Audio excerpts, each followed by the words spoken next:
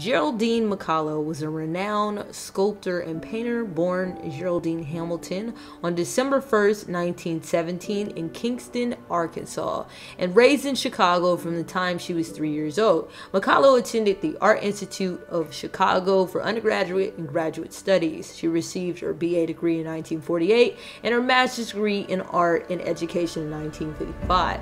As a student, she earned a John D. Standecker Scholarship, a Memorial Scholarship, and a figure painting citation.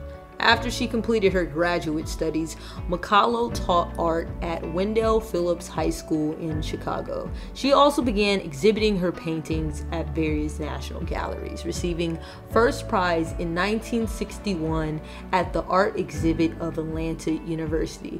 With help from her husband, Lester McCullough, she took up a welded sculpture and made her sculpting debut in 1963 at the Century of Negro Progress Exposition in Chicago. She received the George D. Widener Gold Medal for Sculpture in her 1965 for her steel and copper structure in Phoenix. In 1967, she became the chairperson of the art department at Rosary College, later named Dominican University, in River Forest, Illinois. Upon her retirement from the school in 1989, she was given an honorary doctorate.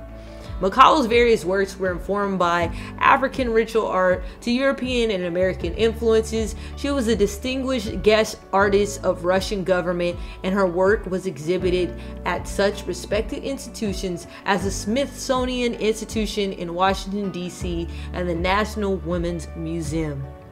McCullough passed away on December 15, 2008, at the age of 91.